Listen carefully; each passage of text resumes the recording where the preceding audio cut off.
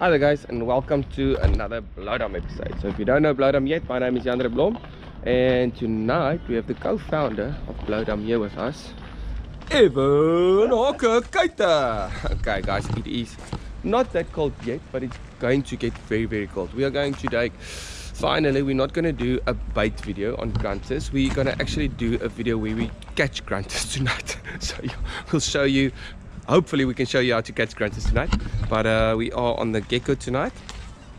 Ooh, we're quickly gonna um, get the gecko. There's a there's a pan. So Evie wants to catch a grunter and he's, he's very optimistic tonight that we're gonna get a grunter and he, he wants to do a um, no there's not gonna be a catch and cook. a catch and cook. Het jy die het jy die sout en peper gekry ja okay. So we're just gonna do salt and pepper and butter. No butter. Oil Okay. Just I don't know what he wants to do, but he wants to do a catch and cook on a grunter. But we'll see if we can do that. Otherwise, there is um, cheese buns and ham. but yeah, we are going to launch now here. Ooh, it is dark. It's load shedding. Uh, for those international viewers that do not know what load shedding is, it's where Eskom um, it's where Eskom screwed up everything and we have to uh, shed the load. So sometimes George is off, sometimes Nice is off, sometimes Cape Town is off. The electricity, they switch off the electricity. So yeah, there's, there's no lights unless you have a generator or inverter system or solar system. But yeah, it is what it is. Um, and it's gotten so bad that we at stage five, six, seven, eight. Yeah. Where we now? Well, I don't know, but we basically every Shout day out to eight, uh, eight hours without it. To Tygerberg Rock and Surf back in the days fishing. Thank you gonna be one of those episodes guys please bear with me Evan is on the boat today so sorry uh, I apologize in advance for Evan but uh, okay let's get the boat in the water and let's get fishing Sometimes a disaster, sometimes we are free. Oh, you take the long way to stay close to me. I don't want another, I just wanna breathe. You take me higher, you stay close to me. Oh, I feel so alive. Okay, so that is how you launch ooh, a boat. And there is the beautiful gecko in the water. Finally. Finally, guys. Yes, this has been a, a while. What are you doing? Okay, so before we get going, I quickly want to put up one more light. Um, I thought you want to say put up the drone. No, I'm not going to put up the drone now. I want to put up one more light and then we're going to get... Ooh. And then we've got chokka and bloodworm that's going to use to catch grunters tonight. Okay uh, guys, so we are off now. yeah, I know this light is bloody brilliant. I'm going to turn the other light off, but look how much light this um, light is making on the boat. You can see as clear as daylight. That is brilliant. Um, yeah, got the idea from my dad and uh, we don't need any other lights. We are just putting this one light on. And um, yeah that uh, is working okay so next up we're gonna bite up with we've got some bloodworms that we um, got from friends that was here earlier today so they gave us a couple of bloodworms and now we are going to get um, the chokka. I'm going to show you how to bite up with the chokka for grunter and the bloodworms yeah, we're probably gonna go four chokka baits and two bloodworms just to see what's biting and then we'll decide what to throw for the rest of the night. Um, the spot that I'm going to be lying is around about 2.8 to 3 meters deep. Um, what you're looking for is a narrow channel where the fish has to go through. So you're looking for banks for them to feed on with the drop off. So um, yeah, the spot that I'm going to be fishing tonight has got all that. So on the left and the right sand, there's, there's banks for them to, to get bait. So we're fishing it on the pushing tide. Um, so that they, the fish can get onto those banks and then we'll throw two lines on the banks and then we'll throw two lines on the drop off either side and then two lines in the channel in the gully so the fish has to come through there and go up onto the bank so then we've got lines in the water for, for all uh, for everything but um, yeah I'm going to show you the setup and what we use um, how, you, how we bait up now yeah guys Knysna I always love Knysna at night fishing Um, it's one of my favorite places to come for night fishing. And as you can see, it is absolutely beautiful. I can't wait for the sunrise tomorrow morning. Um, yeah, I, I just love nice night. Yachts everywhere, boats everywhere. Yeah, this light is. Oh, let me turn on my navigation lights. Port side always left, uh, starboard side always right. So the reason for that is um, when you get to a harbor, you get on on the port side, and if you look at any ship or any aeroplane, you always get on the left hand side, and that's the side you get on. That's the port side. That's the side that you you get on. So that's why that's called the port side. Um, on an aeroplane, it's also on the left hand side that you get in, and starboard is always on the right.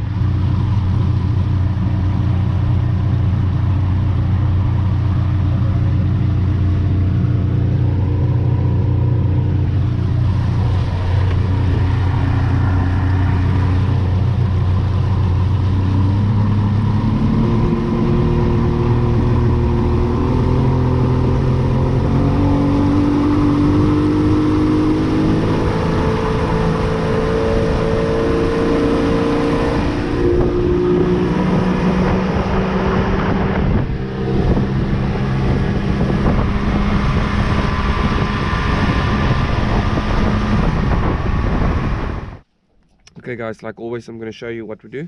So around about a 70 80 centimeter um, the um, for your hook um, this is seven or eight kilogram line.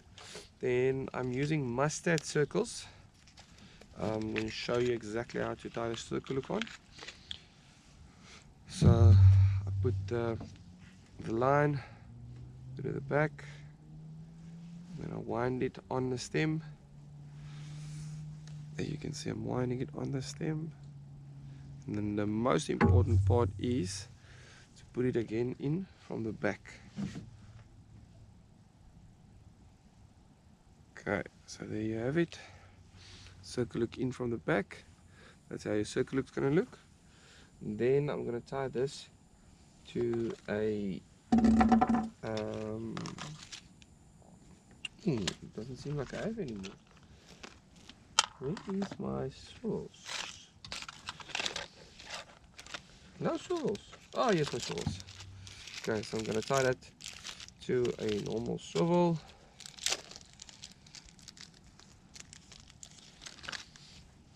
And then I'm going to quickly show you what we do with the sliding sinker line as well. So that one goes onto a normal swivel and I use the figure 8 knots on, uh, make sure that you knip, snip your, your um, excess line off. That uh, also causes tangle. Don't bite them off. Uh, take a knife or a nice sharp scissor and get them as close as possible off. Okay that um, restricts your tangles on the line. Okay so I'm going to take the same line that I used for my hook line I'm going to make around about a 30 centimeter um, sinker. And I'm using 2 ounce cone sinkers. There you can do see the little cone sinker? That's also going to go with a figure 8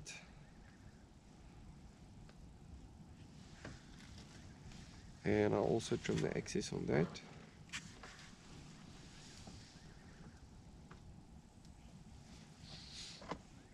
that goes onto a swivel as well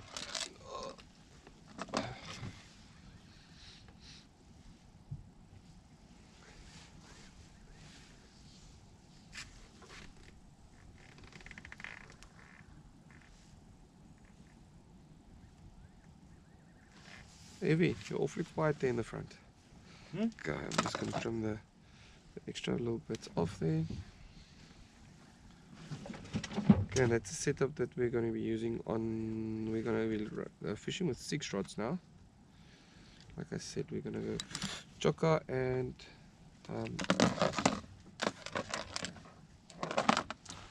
Okay, so I'm going to take the first one. Okay, the rods that we're fishing with is our normal Shimano 100Gs or 200Gs, uh, the reels. Uh, around about 10 kilogram line and then these are the gully master rods again this is a custom the one that Johan at extreme fishing did for my boy his name is on it and everything so it's a blue one it's not the normal purple one or that um what do you call it maroon ones this is a custom one that he made for him okay. Verbode vrug. Ai, Ja. Ek sukkel met die man. Okay. So and then you're gonna put on there. you're gonna go that sliding sinker that we just made. Goes onto your main line. And on the other end goes your 4-0 circle hook that you just made and again with a very nice 8 figure 8 knot okay as you can see there's your 8 with your line. Tighten up and cut the extra bit off so it can tangle. Okay yeah that's the setup that we're going to be using now. I'm quickly going to get all the rods ready and then I'll show you um, what bait we're going to use. What? Okay so here's a little chokka so I'm going to cut the head into three pieces one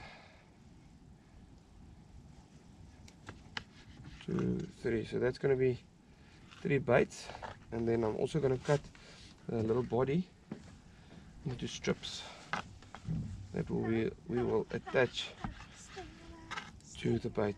Um, you can take the skin off if you want to. Quickly try and take the skin off. I'm just gonna leave it on. Okay. Then cut it into strips to add to your bait.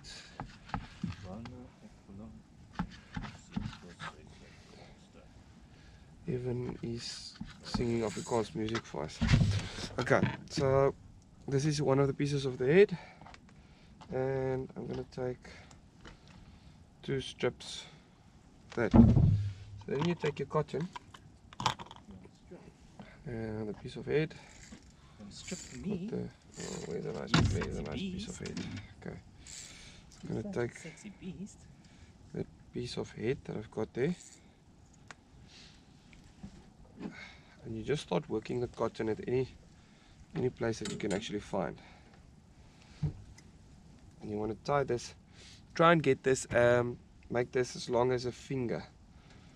Try and tie it in a, in a so it kind of looks like a, uh, as thick as your finger. Got it. So it starts taking a little bit of shape. But all the flavor is actually in the chokka head. There we go. Now it's getting some shape.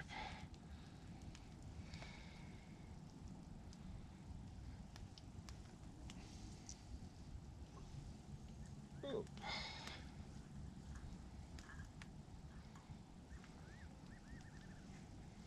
And then all that I'm going to do is to make the bait a little bit bigger. I'm going to add some of that body parts in on it. Oh, this is a slimy, slimy business. There we go. Add one leg on this bait. More than enough. We're fishing for grunter, so this is a big bait for a grunter to swallow. But you'll be surprised at how big baits these grunters can swallow. Even the little ones, they swallow these baits up like nothing. Okay. So let's get this nice and tight. Then I'm gonna try and build myself a nice little place for the hook to set here on the top.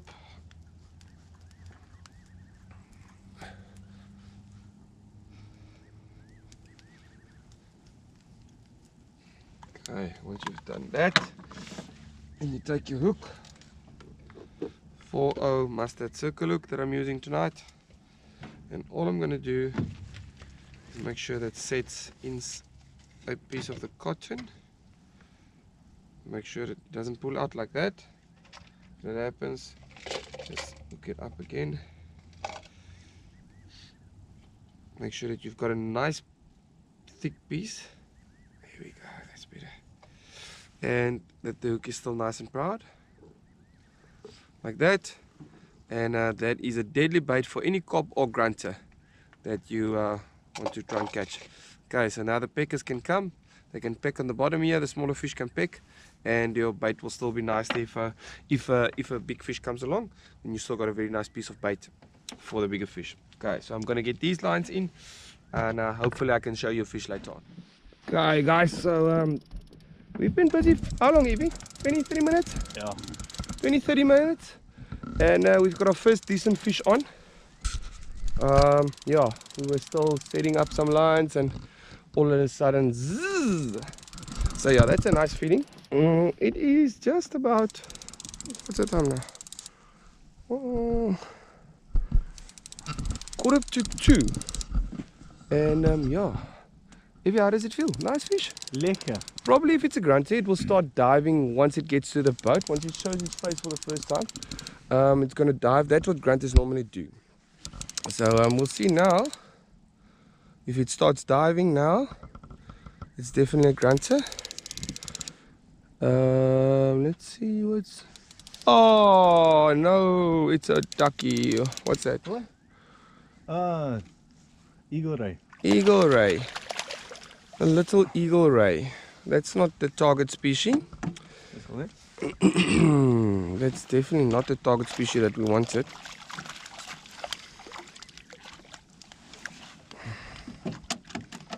No, that.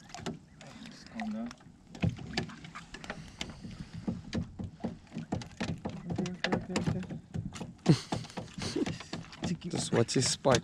Yeah, he's trying to cut me. Yeah.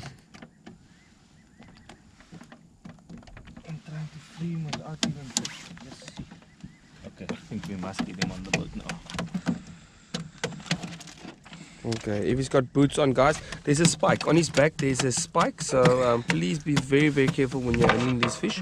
Uh, they are dangerous, so just be careful when you are handling these fish. There you can see on his back. Um, And never put your hands in here. If you handle a fish, just put your hand in his.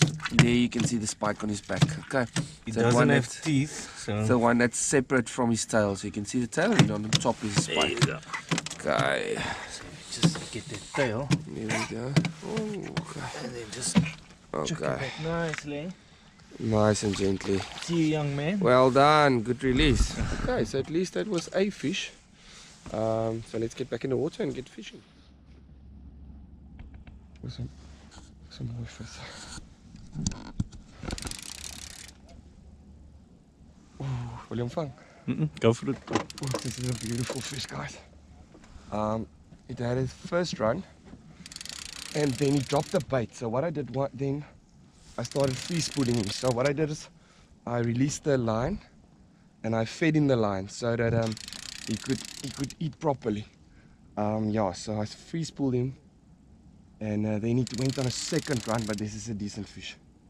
Okay, doesn't feel like a grunter though. We'll see now if we get closer. But it took um, quite a lot of line for a grunter. And um, yeah, it's swimming wide now, so I don't know exactly what this is. I didn't, don't feel any head shakes yet. Let's see if he goes I know over this one. There's a little bit. Yeah, there's the head shakes. There's your grunter, and there you go. Yeah, this is a grunter. Okay, once he gets close to the head, you'll see you you'll ride, ride, ride the rod, and then you'll make another run. So you'll see now, there he goes, rides, rides, rides the rod, rides, rides, rides, and then he'll go for a run. You see, there he goes for his run. yeah, I've caught so many of these grunters, guys. Um, this is probably going to be around about a two to three kilogram fish. They once they get to the boat, the fight actually really starts. You see, there he's riding me, riding me, and then he'll go for another run. There, let me put the ratchet on. You can actually hear when he goes for a run. He's riding me, riding me, riding me, riding rod. And there he goes for a little bit of a run. Okay. Whoa, oh.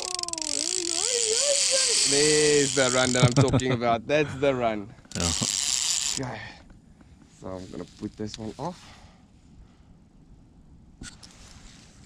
Yo, I was just just fell asleep when the rod started. There he goes for another little run.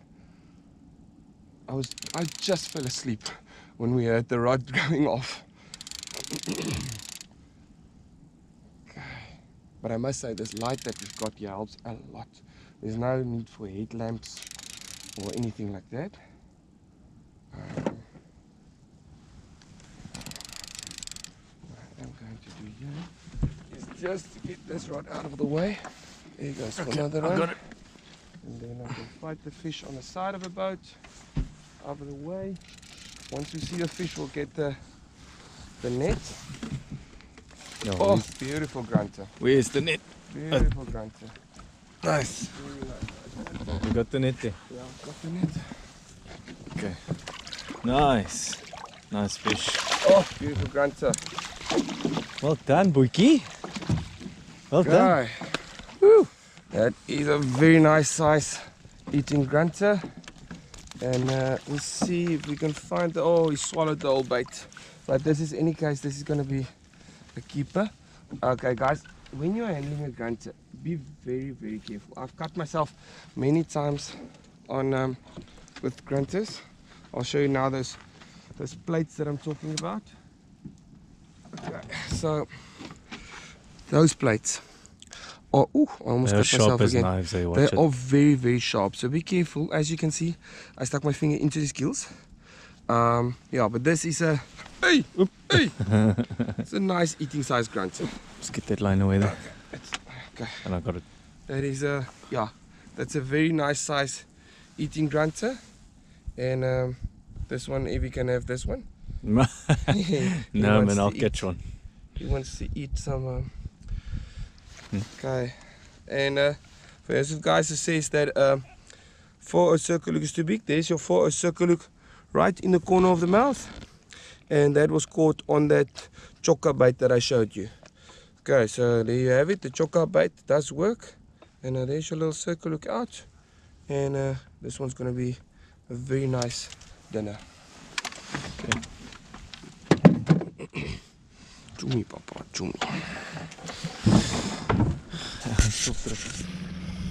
Good morning, everyone.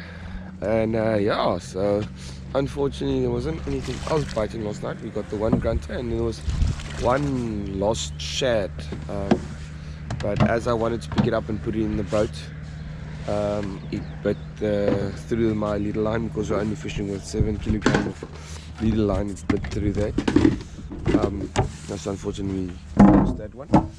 But um, yeah, we're gonna pack away.